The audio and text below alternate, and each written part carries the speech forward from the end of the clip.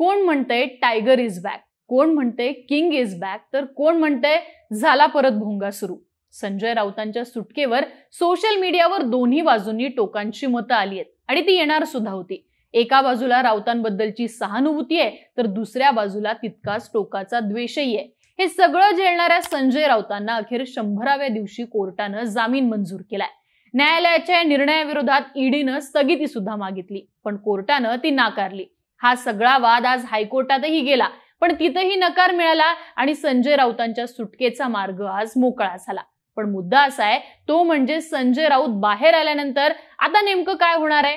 काय बदलणार आहे? ते आत होते तेव्हा कुठल्या गोष्टींवर ठाकरे गट हा बॅकफुटला गेलेला? सकाळच्या दहाच्या बातम्यांच्या पलीकडे नेमकं संजय राऊत यांचं बाहेर येणं का महत्वाचं असणार आहे? तेच या व्हिडिओत पाहूयात. नमस्कार मी आरती आणि तुम्ही पाहताय बोल व्हिडिओ. संजय राऊतांच्या सुटकेचा ठाकरे गटाला झालेला सगळ्यात पहिला फायदा म्हणजे दैनिक सामना आणि अग्रलेख पुन्हा तिखट होतील. संजय राऊत जेलमध्ये असताना सामनाचे अग्रलेख नेमकं कोण लिहायचं हे सांगता येत नसलं तरी सामनाच्या अग्रलेखांची धार निश्चितच कमी झाली होती. शिंदे गटाच्या आमदारांना जेव्हा सुरक्षा देण्यात आलेली तेव्हा सामनामधून नाच्यांची वायझेड असा उल्लेख करण्यात आला होता. सामनाच्या अग्रलेखातूनच शिंदे गटातील आमदारांचा झाडी डोंगर गट असाही उल्लेख करण्यात आलेला. फडणवीसांना तर मिरचीचा ठेचा लागला. फिक्सिंग करून जन्माला घातलेलं सरकार अशा भाषेमध्ये संजय राऊतांनी अग्रलेखांमधून बंडखोरी झाल्यानंतर विरोधकांवर टीका केली होती. मध्यंतरीच्या काळात मात्र ही भाषा थोडी सौम्य झाली होती. साहजिकच सामनाच्या अग्रलेखांच्या बातम्या देखील माध्यमांमध्ये येत नव्हत्या.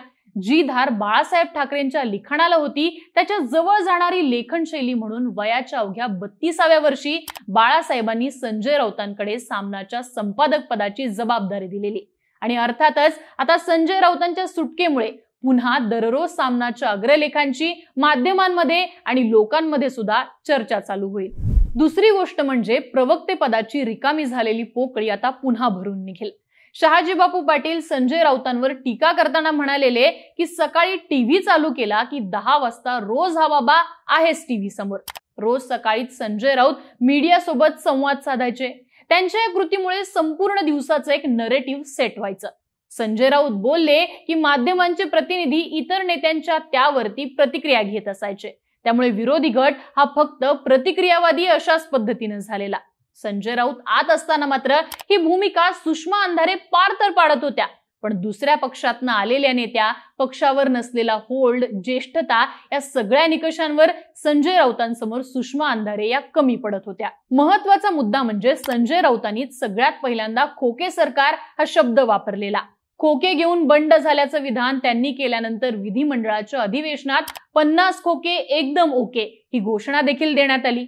त्यानंतर राज्यामध्ये खोक्यांचं परसेप्शन बिल्ड झालेलं पाहायला मिळालं. आणि शिंदे गटाला ते पूर्णपणे डॅमेज करायला चालू झालं. अर्थातच योग्य वेळी योग्य भाषा वापरून मत तयार करण्यावर राऊतांचा भर असतो. हे काम गेल्या तीन महिन्यांमध्ये सक्षमपणे ठाकरे गटाकडून झालेलं दिसत नाही.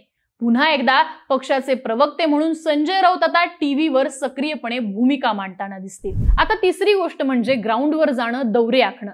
शिंदेच्या बंडानंतर संजय राऊतांनी जुलै महिन्यापासूनच दौरे आखायला सुरुवात केलेली.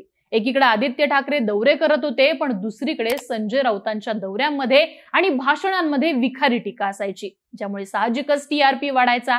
दुसरीकडे संजय राऊत हे प्रत्यक्ष लोकांमधून निवडून येणारे किंवा अगदी मास लीडरच्या व्याख्येत बसणारे नेते सुद्धा नाहीयेत. तरीही राऊतांच्या नावावर बऱ्यापैकी गर्दी गोळा करता येते सभा गाजवता येतात.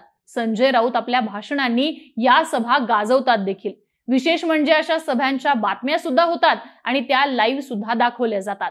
त्यामुळे प्रत्यक्ष मैदानावर ठाकरे गटाला त्यांचा फायदा निश्चितच होऊ शकतो. सध्याच्या स्थितीमध्ये संजय राऊत आत नसते तर अंधेरी पूर्व पोटनिवडणुकीच्या निमित्तानं रंगलेल्या राजकारणात त्यांची भूमिका भाषणं काय असती यातूनच संजय राऊतांच्या सुटकेचा ठाकरे गटाला नेमका कसा फायदा होईल याचा अंदाज बांधता येतो. आता येतो चौथा मुद्दा. तो म्हणजे महाविकास आघाडीत समन्वय साधता येईल. अगदी कालचीच बातमी आहे. सुषमा अंधारे यांनी रुपाली चाकणकर यांच्यावर केलेल्या टीकेची. अब्दुल सत्तारांनी सुप्रिया सुळेंवर टीका केल्यानंतर राज्य महिला आयोगाने त्यांना तात्काळ नोटीस पाठवली. मात्र गुलाबराव पाटलांनी सुषमा अंधारेंवर टीका केल्यानंतर ही तत्परता दाखवली नाही असं म्हणत सुषमा अंधारेंनी चाकणकर यांच्यावरती टीका केली. वास्तविक ही गोष्ट छोटी आहे मात्र अशा गोष्टींमधूनच महाविकास आघाडीत समन्वय नसल्याचं चित्र सध्या निर्माण होते अंधेरी पोटनिवडणुकीमध्ये भाजपने घेतलेली माघार असेल किंवा मुंबई क्रिकेट क्लबच्या निवडणुकीमध्ये एकत्र आलेले शरद पवार आणि आशिष शेलार या सगळ्या गोष्टी यामध्ये भर घालत होत्या. अशा वेळी योग्य ती भूमिका घेऊन समन्वय साधणारे व्यक्ती म्हणून संजय राऊत हे प्रामुख्याने ओळखले जातात. संजय राऊतांमुळेच महाविकास आघाडीच्या स्थापनेच्या चर्चा झाल्या होत्या आणि महाविकास आघाडी साकारली सुद्धा त्यांच्या प्रयत्नातूनच. त्यामुळेच हा समन्वय राखण्यात संजय राऊत यांची भूमिका अत्यंत महत्वाची राहणार आहे. आता पाचवा आणि शेवटचा मुद्दा तो म्हणजे मुंबई महानगरपालिका. मुंबई महानगरपालिकांच्या निवडणुकांसाठी भाजपने चांगलीच कंबर कसली आहे. अमित शहानी सुद्धा मुंबईचा दौरा केला आणि उद्धव ठाकरेंना थेटपणे आव्हान दिलेलं. अशा वेळी संजय राऊत बाहेर असते तर अमित शहाना प्रत्युत्तर देण्याचं काम त्यांनी चोखपणे केलं असतं. पण संजय राऊतांची भूमिका ही फक्त प्रत्युत्तर देण्यापुरतीच मर्यादित आहे का? तर नाही. आगामी मुंबई महानगरपालिका ठाकरे गटाचं भविष्य ठरवणार आहे. अशा वेळी पक्षाची भूमिका मांडणं हे काम तर निश्चितपणेच आहे. पण सोबतच राष्ट्रवादी आणि काँग्रेस सोबत समन्वय साधणं असेल परसेप्शन बिल्ड करणं ही महत्वाची कामं सुद्धा ठाकरेंना पार पाडावी लागणार आहेत. अशा वेळी ठाकरेंकडे संजय राऊत यांच्यापेक्षा सक्षम असा पर्याय दिसत नाही. त्यामुळेच संजय राऊतांचं मुंबई महानगरपालिकांच्या निवडणुकांपूर्वी जामिनावरती बाहेर येणं अत्यंत महत्वाचं ठरणार आहे. तुम्हाला काय वाटतं? संजय राऊतांच्या सुटकेमुळं उद्धव ठाकरेंच्या शिवसेनेमध्ये नवीन उत्साह येईल की आणखी वेगळं काही होईल? आम्हाला कमेंट बॉक्समध्ये तुमच्या प्रतिक्रिया लिहून नक्की कळवा आणि अशाच माहितीपूर्ण व्हिडिओसाठी बोल व्हिडिओच्या युट्यूब चॅनलला सबस्क्राईब करायला विसरू नका.